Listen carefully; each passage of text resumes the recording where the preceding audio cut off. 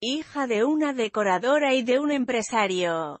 Nació en San Sebastián el 28 de octubre de 1978. Desde pequeña quiso ser actriz pero, a petición de sus padres, estudió dos años de dirección y uno de montaje. Para emprender estos proyectos se trasladó a Madrid y se matriculó en la escuela de Cristina Rota.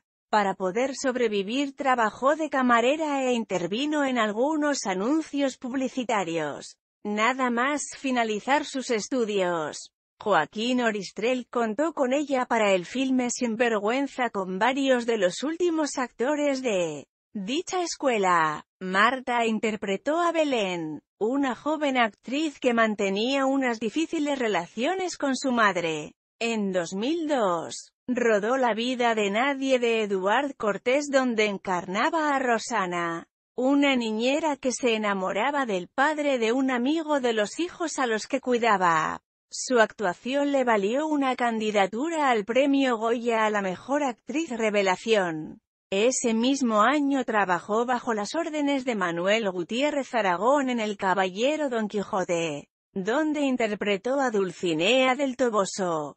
Posteriormente, rodó Hay Motivo, donde participó en el filme colectivo que criticaba a la España del Partido Popular, y Frío Sol de Invierno, donde se puso en la piel de Mimo. La Unión de Actores la recompensó con una candidatura al premio de Mejor Actriz de Reparto por ello. En 2004, estrenó Entre Vivir y Soñar, en la que compartió un personaje enamoradizo con Carmen Maura, y para que no me olvides, en la que encarnó a Clara. Por su papel en esta última Marta recibió una candidatura al premio Goya a la mejor interpretación femenina de reparto. Entre el estreno de la película y la candidatura, rodó Azul Oscuro Casi Negro y Remake, así como la serie de televisión Vientos de Agua protagonizada por Ernesto Alterio y su padre,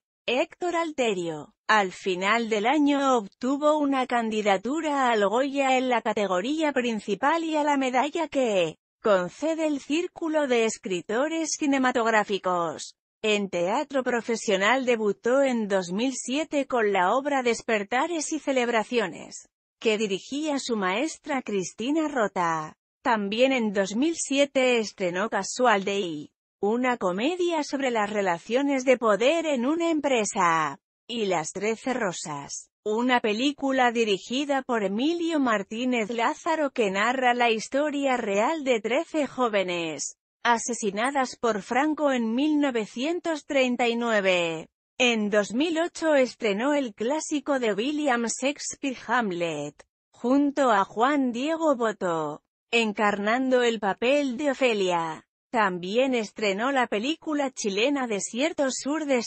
Garry. En 2009 estrenó la película Siete Minutos de la directora Daniela Fegerman, una comedia coral en la que compartió reparto con Tony Acosta y Antonio Garrido entre otros. También estrenó Flores Negras, un thriller de suspense policial dirigido por David Carreras. Además, participó en la película Celda 211 dirigida por Daniel Monzón y protagonizada por Luis Tosar. Su participación en esta película le llevó a ganar el Goya a la mejor actriz de reparto el 14 de febrero de 2010. En 2011 estrenó la película Eva, un drama de ciencia ficción dirigido por Quique Maillo.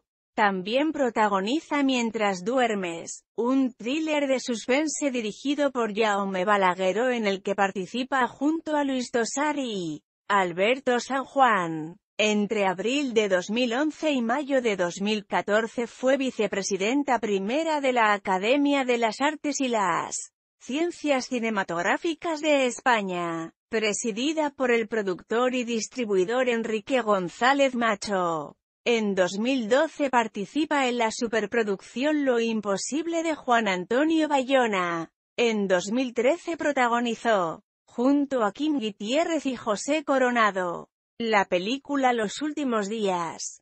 una cinta apocalíptica ambientada en Barcelona y dirigida por David y Alex Pastor. Además, estrenó la película Presentimientos, que protagonizó junto a Eduardo Noriega. También hizo un breve aparición en la serie de época de televisión española Águila Roja donde interpretó a Eva, una enigmática dama de la que se enamora el protagonista.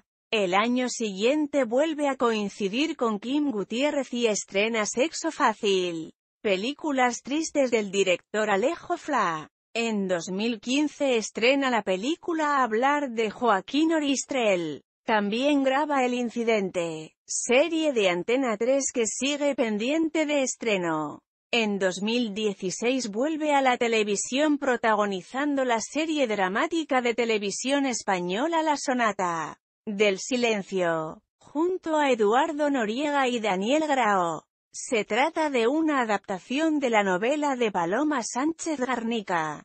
También ese año estrenó en el Festival de San Sebastián las películas El hombre de las mil caras y Caleberiac.